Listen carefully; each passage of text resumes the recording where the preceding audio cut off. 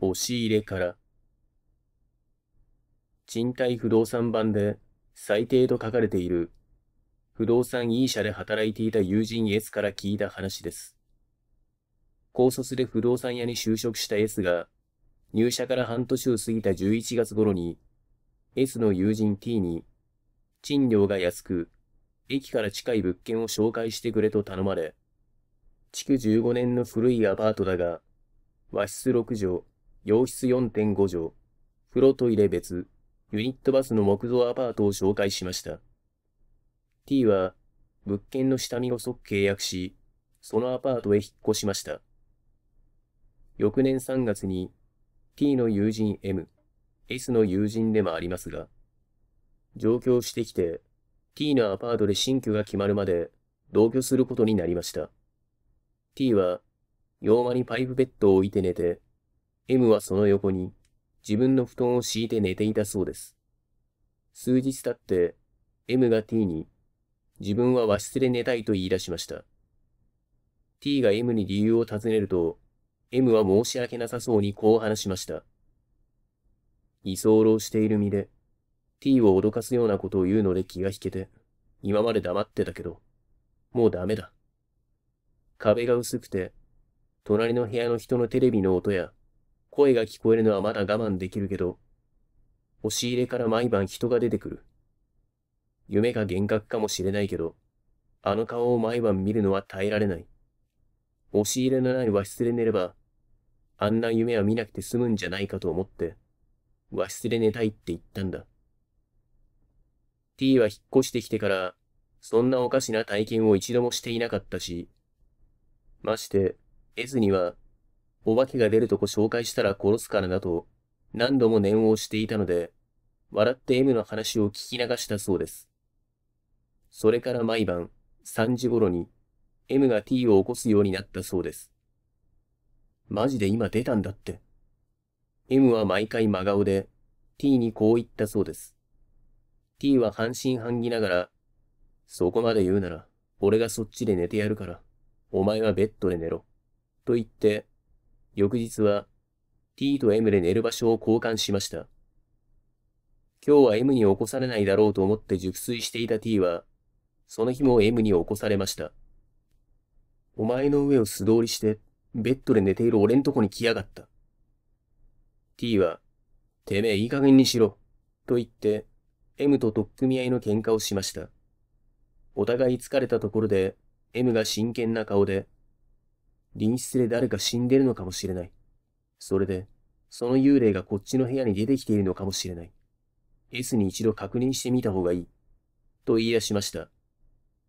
その日のうちに、会社に出勤していた S を呼び出して、三人で M の話を詳しく聞いたところ、次のことが分かりました。毎晩3時頃に出てくるお化けは、押し入れから音もなく、滑るように M の寝ている場所まで来ていたこと。そのお化けには手も足もなく、黒く長い寝袋のような形で、寝袋のような胴体から出ている頭は、長い白髪頭で、顔はわからないとのこと。恨み事など何も言わず、ただ、老婆のような鳴き声だけ聞かされること。昼間でも、押し入れか隣室から、老婆の押し殺すような鳴き声や、うなり声が、たまに聞こえてくること。T は入居してからそんなものは全く聞いたことがない。T がいない時に押し入れの天井と床板を外してみたが何もなかったこと。S は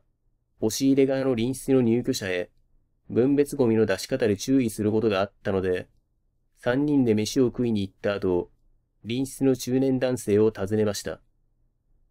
要件を伝えた後 S はさりげなく中年男性に隣室の騒音などについて聞いてみました。その中年男性は、M が話したお化けを見たといったような話はしませんでしたが、T の部屋側から、おばあさんの押し殺すような泣き声や、うなり声が、たまに聞こえてくること。隣室の嫁さんを見かけないが、おばあさんを置いて引っ越したのか、などといった話をしました。そこで S が、隣室の住人は昨年引っ越しており、今は学生 T が住んでいると伝えたところ、その男性は驚いた様子で、今も呼びにいびられているおばあさんの声が自分の部屋にたまに聞こえてくる。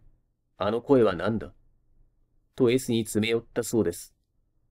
T の部屋に戻った S は、隣室の人も M と同じように、泣き声が聞こえると言っていた、と二人に話したところ、T は S に、業者に頼んで押し入れ近辺を調べてくれと頼みました。そこで S が、その前に俺がちょっと見てみると言って、押し入れの壁板をトントン叩いて調べ出しました。S は調べているうちに、床板や他の壁板がコンコンという軽い音を返すのに、押し入れと風呂を挟んだ壁板だけ、ボンボンといった何か詰まっているような音を返し、また、その壁板が少し膨らんでいるのに気づきました。S がそこで板を外すと、黄色い袋のようなものが見えました。S は、これはやばいと思い、会社の先輩と大家さんを呼んで、壁板を全部外し、後から来た警察官が、その袋を引っ張り出しました。取り出された袋は、黄色い寝袋で、中に何か詰まっているように、ずるっといった感じで出したそうです。寝袋を押し入れから出した後、警察官が寝袋のチャックを開けようとしたところ、T が突然、俺の部屋で開けるなと興奮して、警察官に怒鳴りました。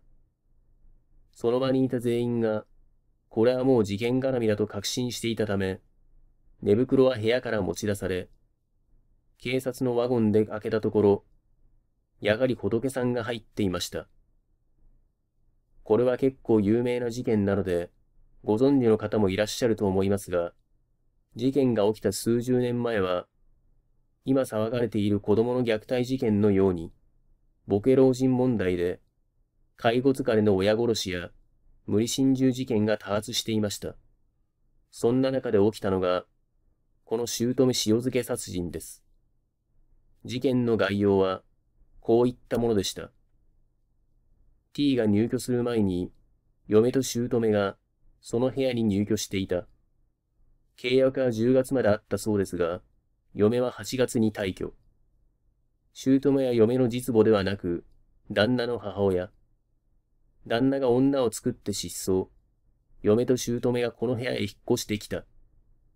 姑は旦那以外に身寄りがなく、旦那の失踪後は嫁が面倒を見ていた。嫁は自分を裏切った旦那への復讐を姑に虐待という形で毎日繰り返した。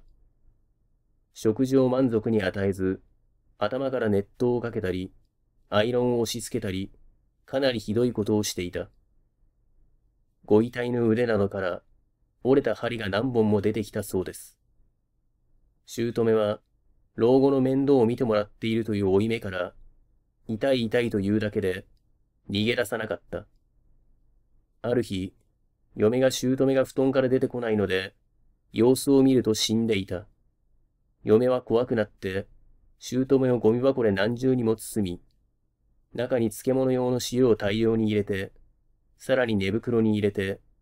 押し入れの板を外し、そこに押し込んで隠した。嫁の退去後に、別の入居者が偶然死体を発見し、警察が捜索、嫁は逮捕された。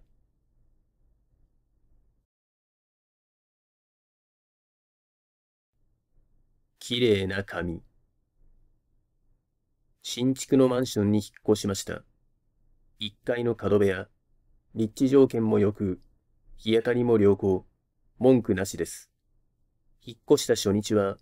手伝ってくれた友人たちと飲み明かしました。翌日の昼過ぎ、友人たちが帰った後、シャワーを浴びました。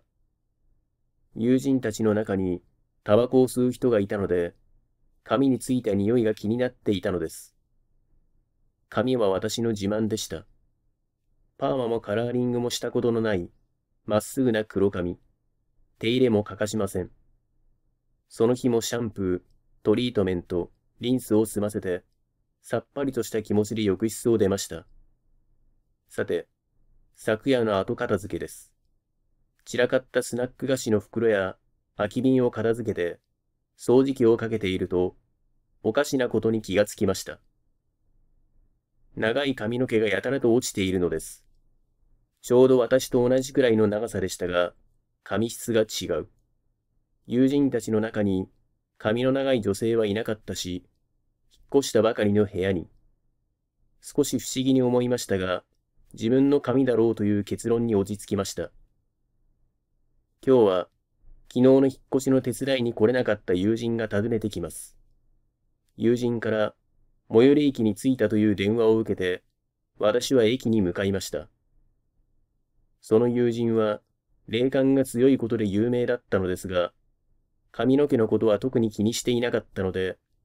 取り留めもない話をしながら、マンションへ帰りました。部屋の床に、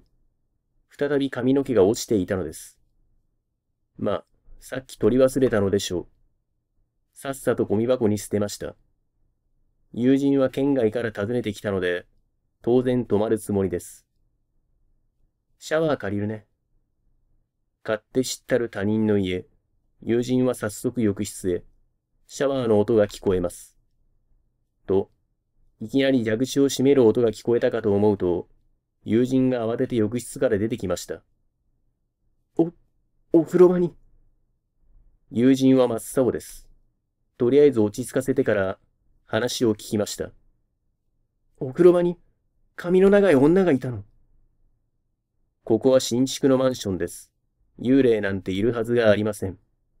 しかし説明しても、友人は帰ると言って聞き入れませんでした。とはいえ、何しろ遠くから来たので、この時間では帰れません。とにかく、私はこの部屋にはいられない。私は近くのファミレスで夜明かしするから、あんたも何かあったらすぐに電話するのよ。そう言って、友人は出て行ってしまいました。一人残された私。昼間の髪の毛のこともあって、さすがに心細い。大丈夫。ここは新築よ。友人に言った言葉を自分に言い聞かせ、私はシャワーを浴びることにしました。霊感が強いなんていうのも考えものね。人の引っ越しを台無しにして、心の中で友人に悪態をつきながら、シャンプーをしていると、頭に違和感があります。頭皮を傷つけないように爪を立てずに、指の腹でマッサージをするように、いつも通りのやり方です。でも、おかしい。私はシャンプーの手を止めました。私は頭に置いていた両手を、恐る恐る目の前に持ってきました。爪を立てずに、指の腹でマッサージするように、もう一つの手が、私の髪を洗っています。誰？振り向くと、顔の焼けただれた女性が、私の頭の上に片手を乗せたまま、きれいな髪、ね。確かに女性の声でした。シャワーの音で気がつきました。私はシャンプーの泡を流さないまま気絶していたので、髪の毛がゴワゴワです。そんなことを気にしている場合ではありませんでした。さっさと泡を洗い流し、木の幹のまま、マンションを飛び出しました。電話ボックスから友人の携帯に電話し、ファミレスで合流。やっぱり明日、不動産屋に聞いてみましょう。ついてってあげるから。翌日、不動産屋に聞いた話は、こんな感じでした。マンションが建つ前、そこには一軒の家と花屋さんがあったそうです。花屋の娘さんは、長い髪が自慢の美人でした。ところが、その家で火事が起こってしまったのです。お風呂場のガス釜が爆発したのです。居合わせた娘さんは、顔を大やけどし、自慢の髪も、ほとんどが焼け焦げてしまいました。娘さんは恋人にも振られ、引きこもりがちに、一つ髪だけ残った髪の毛を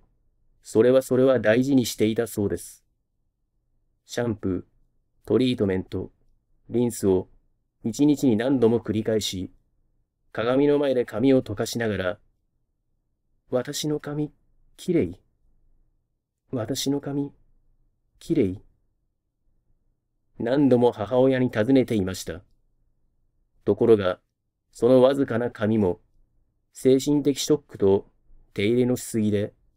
抜け始めてしまったのです。娘さんは、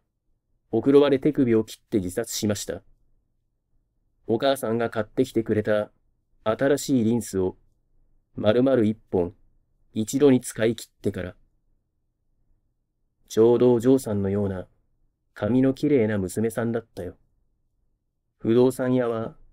私を懐かしそうに見つめて、そう言いました。岩登り。僕が高校2年の頃に、友達とよく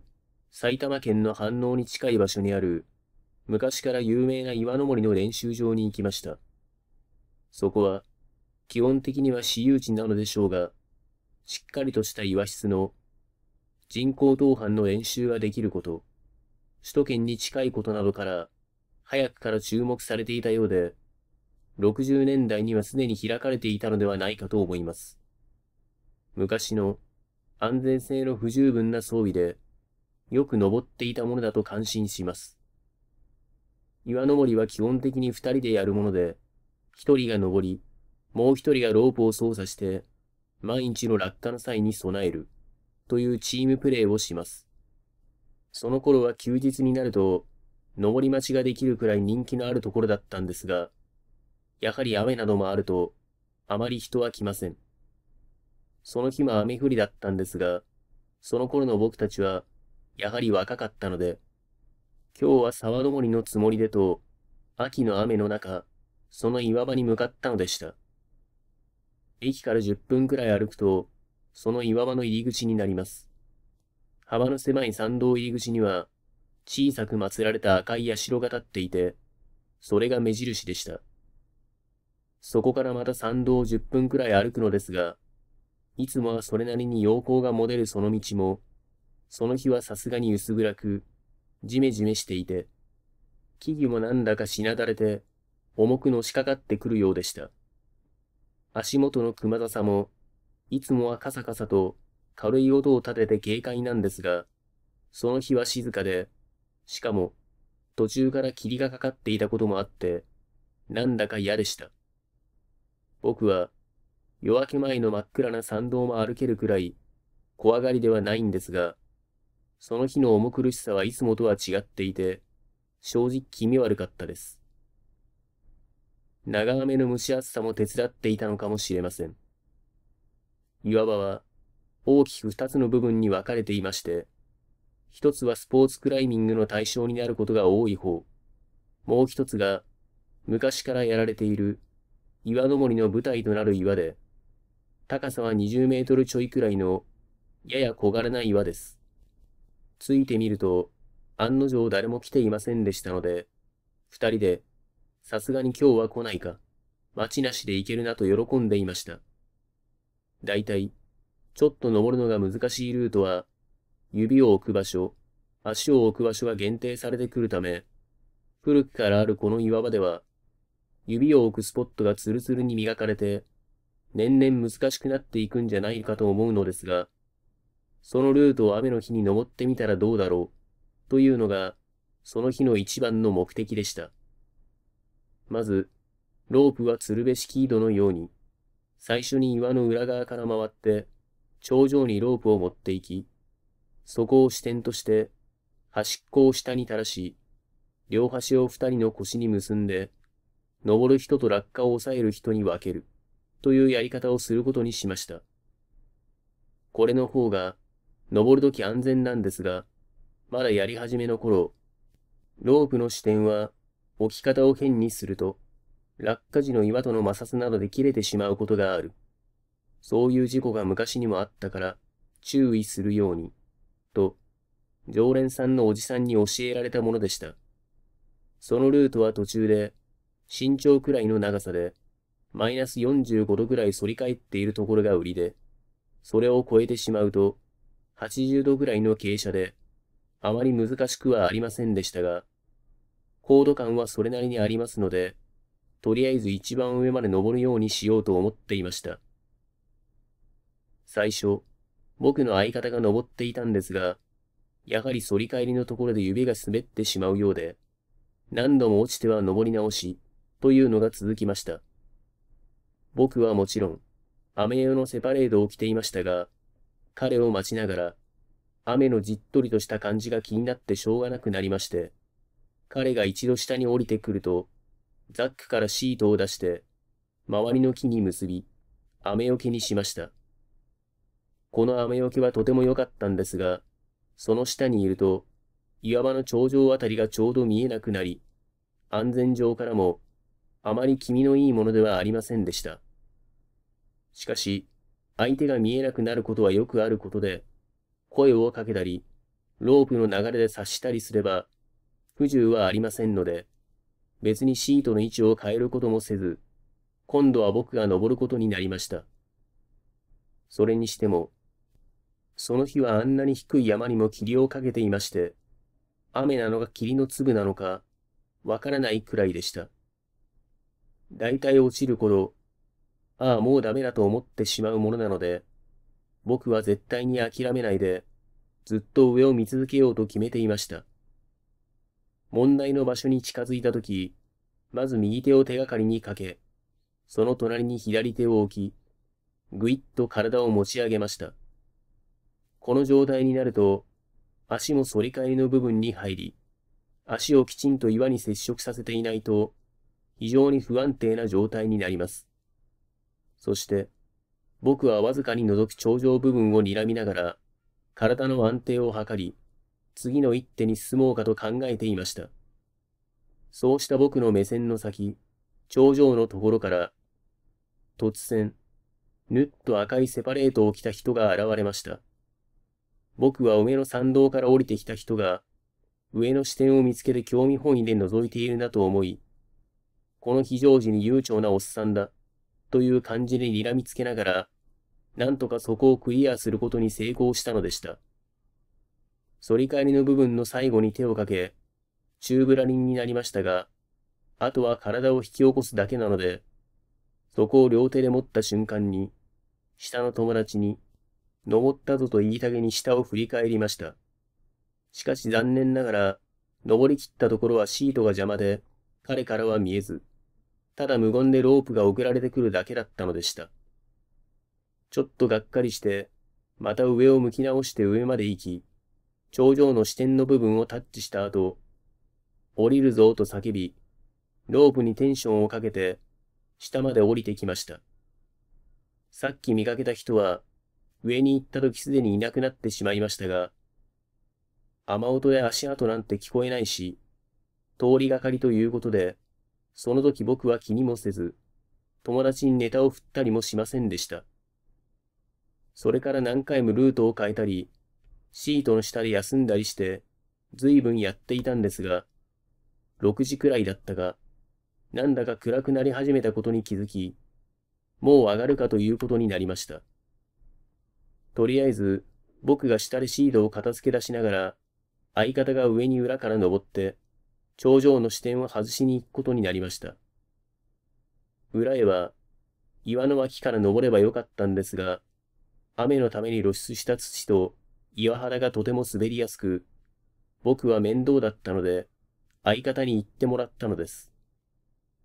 彼はそういうところを登るのが得意だったので、普通に引き受けてくれ。僕は早々にシートを片付け、タバコを吸って一息ついていました。時々、ポタッとタバコの上に落ちてくる雨の雫を見ながら、それでも一分くらいの短い時間でしたが、暇を潰していました。急に、ふと最初に登ったルートが気になり、もう一度登り方を見ようと、上を見上げて考え始めました。登り方はほぼ限定されているのですが、やはり登り方のコツみたいなものがあるのでしょう。考えるほど煮詰まっていきます。反り返りのところの最後の一手の部分を見ていると、ふっと相方の顔が覗きましたので、おう到着したかと思い、ロープを落としていいよと言いました。しかし、彼は何を考えていたのか、僕の顔をじっと見たまま、ロープを落とそうとしません。一瞬、何と思ったんですが、なんだか食い入るように見られるその目に負けたみたいで、その顔から目をそらすことができないまま、しばらくお互い無言になってしまいました。彼は突然きびすを返し、ふっと頂上の向こう側に行ってしまいました。何なんだろうという気持ちになりましたが、まあいい加減疲れてきたしと思い、ただロープを落としてくれるのを待ちました。そのすぐ後、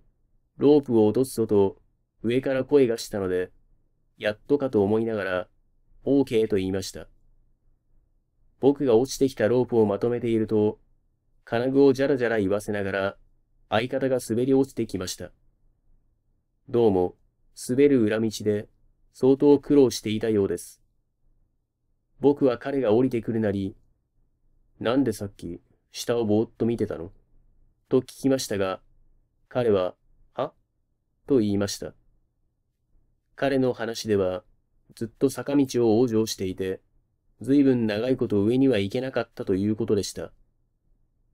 僕は一瞬わけがわからなくなって、だって、あのハング、反り返りのところを見てたじゃん、と言おうとして、突然頭をガツンと殴られたような衝撃を覚えました。なぜなら、下を覗き込んでいた人が着ていたセパレートは赤で、目の前の相方のそれは青だったからです。一瞬パニックに陥り、どういうことだと考えてみました。他の登山者かとも思ったんですが、相方がロープを落としたのは、その人が見えなくなった本当にすぐ後でしたから、それもありえません。大体その色は、最初に僕が登っていた時に見た色と同じものだったんです。そして、何とも言えず、無表情で無感情な感じのする、あの視線。下から見たときには、表情がはっきり見えたわけではありませんでしたが、あの視線の感じは忘れられません。結局、その人が一体何だったのかということは、その後もわからずじまいです。皆さんもご存知でしょうが、山にはこの手の話はつきものですので、そこの常連さんにわざわざ話すことでもなく、相方に話すこともなく、時々飲んだ時とかに友達に行ったりしていたくらいです。それから11年が経ちましたが、残念ながら僕の相方は山で亡くなってしまいました。友達の死は初めてではありませんが、彼が山に散ったならばと、僕の気持ちとしても、なんとなく消化することができました。家族はかわいそうですが、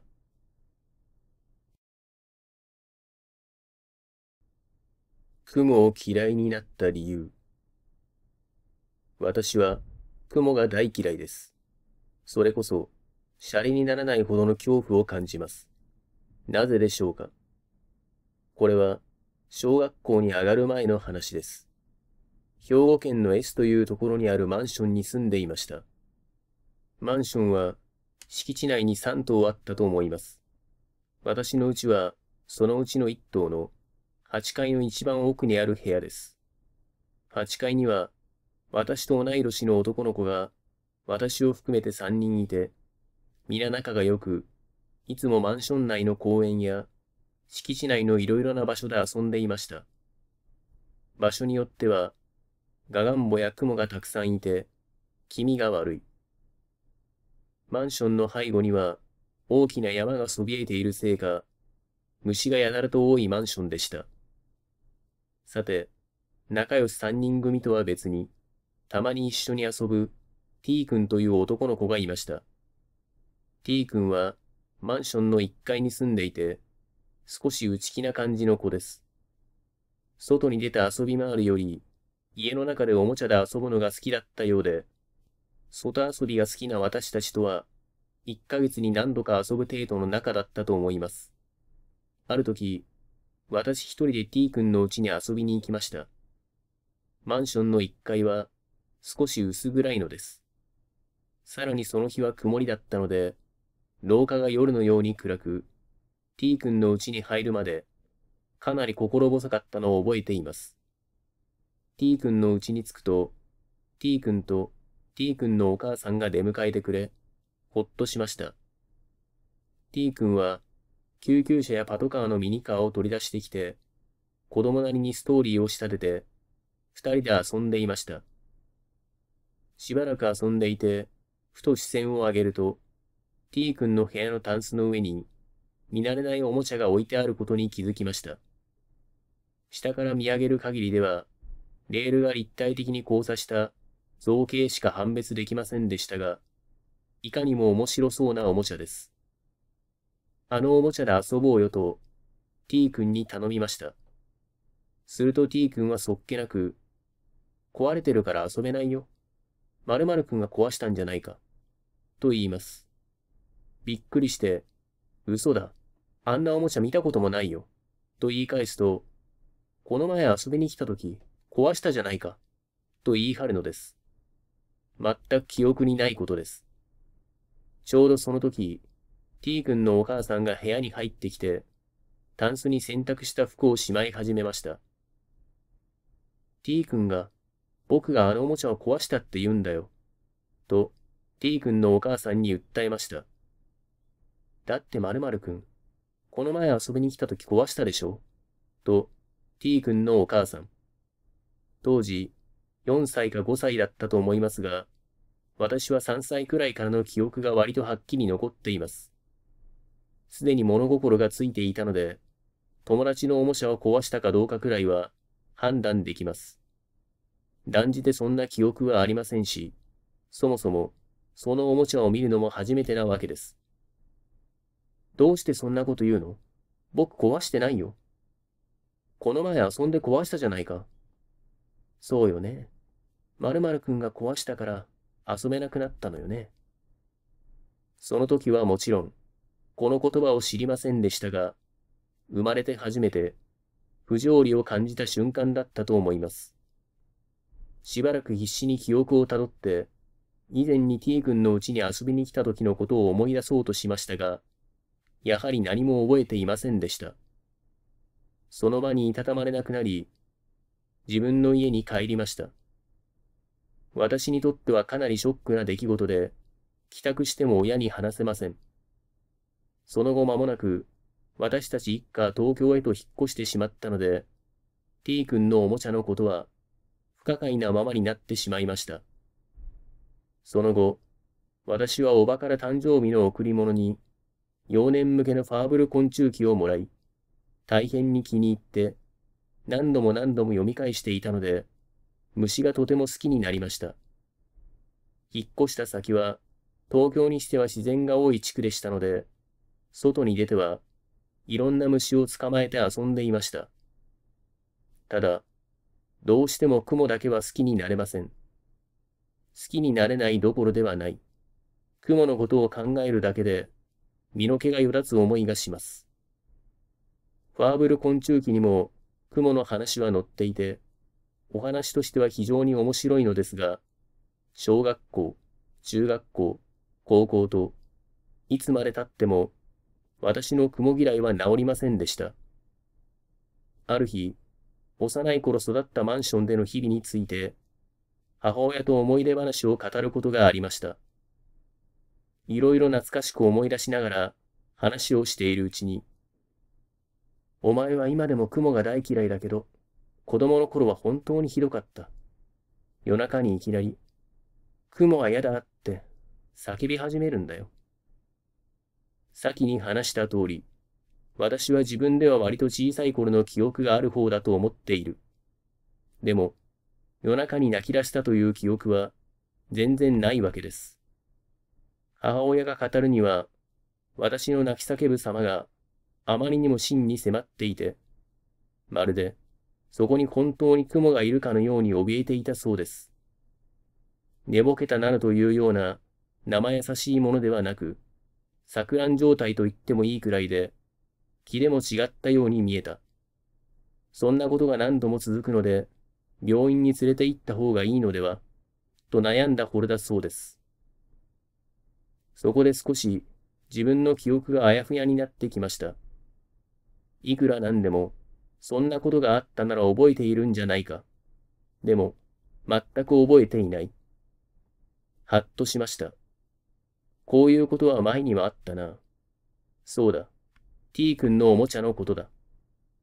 そこで何か思い出しそうになり、T 君の薄暗い部屋のイメージを頭の中にフラッシュバックしてきました。でも、はっきりと思い出す前に、記憶の糸がふっと途切れてしまい、それ以上は思い出せません。その時母親が、あのマンションは裏手が山だったから、大きな雲がたまに出たんだよね。大人の手くらいあるやつ。あんな大きな雲、子供が見たら、すごい大きさに見えるだろうね。と言いました。その瞬間、私の頭の中に、いくつかのイメージが同時に駆け巡り、気がつくと私は、頭を抱えてうーとうなっていました。寸出のところで、叫び声を抑えていました。T 君の部屋で走り回っている時に転んで、あのレールのおもちゃの上に倒れ込む瞬間、床を叩きながら泣いて、私を非難する T 君。T 君に、どうすれば〇〇君を許す？と聞く T 君のお母さん。T 君のお母さんが、彼女の手より大きな雲を掴んで、僕の口に、感触が。私の母親は驚いたことでしょう。私は逃げるように自分の部屋まで走り、そのまま布団をかぶって、頭の中に蘇ってくるイメージを消そうと、もがきました。その日は朝まで眠れずに、記憶と葛藤し、その後数週間は、日常生活の合間に蘇ってくる記憶に、苛まれ続けました。何しろ、人と会っていても、いきなり頭を抱えてうめき始めるわけです。頭がおかしくなったと思った人もいたでしょう。雲を食べれば許す。じゃあ、雲取ってくるね。冗談かと思いきや、数分も経たぬうちに戻ってくる T 君のお母さん。廊下に巣を張ってる雲を取ろうと思ったんだけど、すごい大きな雲がいたから、そっちの方を取ってきた。うわ、でっか。ほーら、まるまるくん、食べなさい。今ではわかる。T 君の母親は、本気で雲を食べさせようとしたわけではない。でも、彼女の目は、火薬の喜びに満ちていた。彼女はひとしきり大きな雲を私の口の周りになすりつけると、ひょいと窓から雲を捨て、お母さんに言っちゃダメよ。と、恐ろしい顔をして言った。そして T 君にも、これで〇〇君を許してあげなさい。と叱りつけた。これが私の雲を嫌いになった理由です。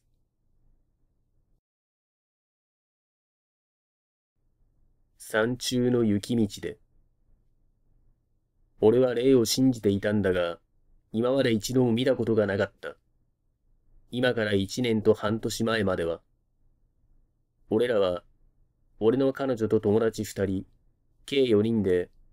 湯沢のスキー場にスノボをしに行った。湯沢には S のリゾートマンションがあって、そこに2泊3日の予定で行った。その時期は吹雪がすごく、2泊3日のうち2日が吹雪のせいでまともに滑れなかった。最終日もあいにくの吹雪。午前中はそれでも気合を入れて滑っていたが、午後になるとますます吹雪は強くなり、夕方前に切り上げた。マンションに帰り、一息をつけた俺らは、帰る支度をして、一路家路へと向かった。みんな東京に住んでいるので、帰りは湯沢から、関越自動車道に乗り、外観に出る予定だった。しかし吹雪のために、湯沢のインターが通行止めになっていて、しばらくインター前で様子を見ていた。しかし、解除される気配がないので、下の道で帰ることにした。思えば、そんなに急いでもいなかったから、一旦マンションに帰り、通行止めが解除されてから、上で帰ればよかったと思う。下の道で行くことにした俺らは、順調に進んでいった。しかし、次第に車の出入りが少なくなっていく。参道に差し当たった時に、車の異常な動きに気づいた。俺は後方のシートに彼女と座っていたが、どうも、車の動きと友達のハンドルの動きが合っていない。あまりの雪道でタイヤが滑っているのだと思っていた。しかし、尋常じゃないタイヤの滑りに、おかしいなと思った俺は、友達に、かなりタイヤ滑るね。遅くなっても構わないから安全運転で行こうぜ。と言った。いつもの彼なら、ドミノピザのデリバリー風に、安全運転で行ってきますって言うはずだが、何も返答はなかった。どうしたんだろうと思った僕と同じように、助手席にいた友達もそう思ったらしく、二人で顔を見合わせて、その友達の顔を見た。その友達は、今まで付き合ってきた9年間の中で、一度も見せたことがないような怯えた顔をしていた。彼は、俺らの返事には答えず、バックミラーを何度も見るばかり。不審に思った助手席の友達が、後ろを振り返ったと同時に、俺もそいつにつられて、後ろを振り向いた。そこにあったのは、車にしがみついていた女だった。しがみついているというか、車を止めようとして、車のウィングにしがみつき、足でブレーキをかけているようだった。驚いた俺は、彼女に、後ろを振り向くなよと言い、運転している友達に、もっとスピードを上げろと、叫ぶように言い放った。今まで俺らの言葉には反応していなかった友達が、ふと我に返ったのか、わかったと、恐怖をこらえ、弱い声で返事をした。車は、滑る雪道をものともせず、猛スピードで山道を駆け抜けた。普通、スピードを上げると余計にタイヤが滑るものだが、不思議と安定し始めた。恐る恐る後ろを振り返ってみると、ウィングにしがみついていた女は振り落とされたのか、その場にはいなかった。と、安心しきっていた俺らを、彼女のキャーという声が目を覚まさせた。彼女の横の窓ガラスに、その女が映っていた。女は、走っていたのだ。時速60キロは出ている車に、走って追いついてきたのだ。一瞬ちらっとこちらを向いたその顔は、ニタニタと笑っていたのを覚えている。俺たちがどうなるんだろうと思っていた矢先、あまりの恐怖に友達が車のブレーキをかけた。雪道でスピードを出し、急ブレーキをかけたんだ。普通は車が滑る。しかし、ABS を搭載していたせいもあり、車は安全に止まった。気がつくと、女は俺らの目の前にいた。友達は、うわーっと言いながら、アクセルを目いっぱい踏み、女に向かっていった。女に車が接触する、と思った瞬間、女はまた、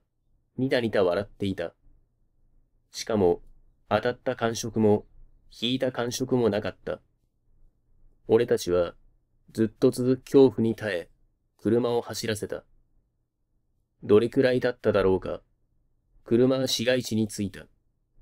俺は、はじめに見つけたコンビニに入ろうと友達に言うと、ほどなく一軒目を発見し、コンビニに入ろうと右折した。しかし、右折をしようと車を減速したその瞬間、バツンと音がした。チェーンが外れたのだと思い、コンビニに着くと、俺たちはタイヤを見た。そこには、女性と思われる大量の髪の毛が、ゴム製のチェーンに絡まっていた。その後、俺たちは何ともない。スノボに行ったメンバーに、霊感がある人は一人もいなかった。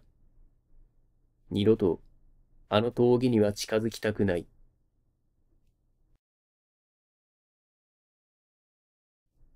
決まり。やっと謎が解けた。原因はあるものを見たからで、それが何かやっとわかった。平成10年9月10日、王県 H 市にある廃墟に肝試しに行ったのが、ことの始まりだった。見なかったことにしようという暗黙の了解やいけなかった。当時、私と A、B の3人は、ドライブがてらよく心霊スポット巡りをしていた。問題の場所は有名なところで、多くの人たちが連日連夜を訪れ、心霊スポットというより、いつの間にか一種の溜まり場となっていた。その建物は2階建てで、強盗殺人によって廃墟となったと言われていた。1階には3つの部屋、食卓、応接間、仏壇の置いてある部屋があり、床のところどころに穴が開いている以外、各部屋は全体的にきちんとしていた。2階には4つの部屋、おそらく子供部屋が2つ、寝室、書斎らしき部屋があった。事件が起きたのは2階の子供部屋の一つで、パイプベッドと床には無数の写真が散らばっており、そこは最も怖い部屋と言われ、肝試しのメインの場所だった。その日は、私たち以外に三つのグループが先に訪れており、廃墟の入り口となる細道で、何やら騒ぎながら話していた。私たちが入り口に到着すると、その中の四人、おそらく一つのグループが寄ってきて、これをどう思うかと言って、三枚のポラドイド写真を見せてきた。三枚とも問題の部屋を撮った写真で、2枚は部屋の中で、1枚は窓を外から撮ったものだった。部屋の中の写真は、曇ったオレンジ色の光がベッドの上に映っていたものと、その後に撮ったものにはオレンジ色の光はなく、白い丸い霧が同じところに映っていた。そして、最後に撮った外からの写真には、窓、ガラスはない。見とっている人を眺めている人影のようなオレンジの光が混ざった白い霧が映っていた。これらの写真を撮ったグループが一番先に到着しており、他の二つのグループも私たちと同様に写真を見せられ、まだ廃墟に入っていなかった。そして、真相を確かめようということになり、霊が見られるかもという期待感が高まり、みんなで行ってみることにした。到着すると、写真のせいもあって、廃墟には不気味な感じが漂っているように感じた。全員、11人で、中に入る人、外で待つ人を決めている時だった。廃墟の中から3人の小学生ぐらいの女子が、いきなり笑いながら走り出してきた。私たちはほとんど同時に叫び、ビビったが、よく見たら、生きている女の子たちで、そして私たちに、笑いに来たらダメだよ。赤い間に見つけたら教えてねと、不気味に意味不明なことを言ってきた。私たちの一人が、何してるのと尋ねると、一人の子が、ろれつの回らない早口で、許す許さないの問題じゃなくて、決まりだから。はははは。と言ったというより、叫んだ。三人ともかなり様子が変で、しかも深夜一時ということもあり、この子たちは事件に巻き込まれたんじゃないかと思い、警察に電話しようとしたとき、一台の車がやってきた。中から中年の夫婦と老婆が降りてきて、私たちのところにやってきた。そして夫婦は子供たちを車に乗せ、老婆が私たちに、あんたら、早く帰りなさい。ここはいかん。この子たちは孫で、かわいそうにおかしいんだ。夜な夜な抜け出してここに行く。家から3キロあるのに。あんたら、肝試しはいかんよ。私は霊は信じないけど、この子らを見てると辛くてね。おかしくなる前と顔が他人になってるのよ。帰りなさいよ。と忠告した。今思えば、本当に帰るべきだったと後悔しているが、あの時は、その忠告が期待感を高め、その好奇心に負けてしまった。それがいけなかった。老婆らが帰った後、写真を撮ったグループの一人が、自分たちが来る前から、あの子たちは廃墟のどこかに隠れていたことに気づいた。隠れる場所といえば、穴の開いた床下か、仏壇の横にある押し入れ、または問題の部屋のベッドの下。ともかく、そのことの不気味さと恐怖感を抑えて、私たちは6人が部屋の中に入り、5人が外で、万が一のことを考え、各社のエンジンをかけたまま、待つことになった。私は中に入ることになった。階段は一列に並ばないと登れない構造で、私は前から三番目で、登りながら、こういう場合は、もし霊が出るなら、じわじわりと前触れがあるんだろうな、と勝手に想像していたが、前の二人が部屋に入った瞬間、男の悲鳴とともに、その想像が一瞬に崩れた。私たちは何事かと思い部屋に駆け込んだ。そしたら、女がうつろな目で仰向けに倒れており、くねくねしながら何かをつぶやいていた。はじめは小声だったが、いきなり甲高い声で笑い、決まりだよ。ははは、決まりだから。切り外してもダメなの。また行くよ。と叫び始めた。私たちは焦り、女を担ぎ、一目散に部屋から逃げて車に飛び乗った。みんな無我夢中で、自分の連れとは別の車に飛び乗った。私は担がなかった方だが、女と同じ車に乗った。女の方は、半分気を失っている状態で、汗をびっしりかいていた。先頭の車に続き、私たちはファミレスに入った。女はすぐに別の子とトイレに入り、吐いた後に気を取り戻した。みんなしばらく放心状態だったが、女がポケットに何か入っていると言った。それは、あの部屋に散らばっていた一枚の写真で、それを見てみんな凍りついた。日付は、1979年11月3日で、映っていたのは女子で、その顔が、廃墟から出てきたあの三人の女の子の意味不明なことを叫んだ方と、ものすごく似ていた。女は、写真を見て泣き出した。女が言うには、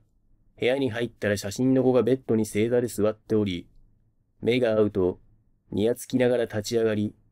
飛びついてきて、息苦しくなり意識が飛んで、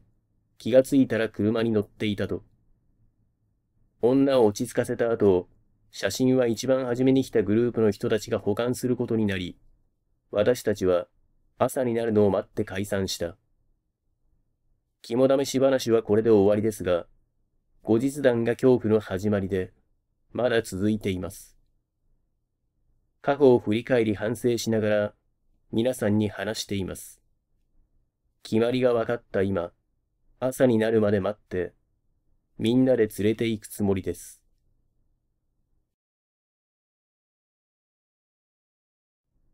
ピンク色の視界。あれは、おととしの冬、A 県愛知駅前のマンションの1階のコンビニで缶コーヒーを買い、マンションの横手に不法駐車しておいた自分の自転車に腰掛けて手を温めながら飲んでいた時のこと。バンという音と同時に、いきなり足を蹴飛ばされ、自転車ごと転倒。全身を強打。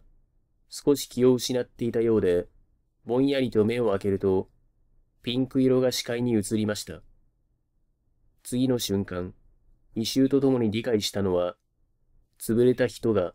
目の前に転がっているということ。血だまりの中に頭らしきものを突っ込んで、ブチュ、ブチュって空気を吹いているのが目の前に転がっています。眼球が転がっているのが見えます。見たのは一瞬だと思うのに、すべてを鮮やかに思い出せます。慌てて起き上がろうとしたけれど、左半身が動かず、激痛が走り起き上がれません。目をそらすため、体を反対向きに転がすことすらできません。声を出して助けを呼ぼうにも、囁くような声しか出ず、すごい匂いの中、ひたすら目をつむり、人が来るのを待ちました。気がつくと病院で、事件の半日後、飛び降りた人の体の一部が足をかすめ、左足骨折人体断裂。ちぎれた体の一部が胸に当たって、肋骨骨折左腕打傷という診断。何ヶ月も悪夢にうなされ、鮮やかなピンク色を見ると嘔吐するという後遺症が続く。あと、匂いのせいで牛肉が食べられなくなり、生肉を直視できるようになるまで、すごく時間がかかった。それ以来、歩道は道路側を歩くし、自転車も駐輪場に入れております。悪夢の中では、その遺体がこっちを見て、痛い痛いって言いながら、立ち上がって近づいてくる。悲鳴を上げようとしても声は出ないし、ブチュ、ブチュって音を立てながら、覆いかぶさってこようとして、病院でもうなされて暴れるから、夜はベッドに拘束されていました。お祓いをしに行ったら、霊なんてついていないって言われて、追い返されるし。ああいう場合は、黙って祈祷して、幽霊は退散しましたって言って欲しかった。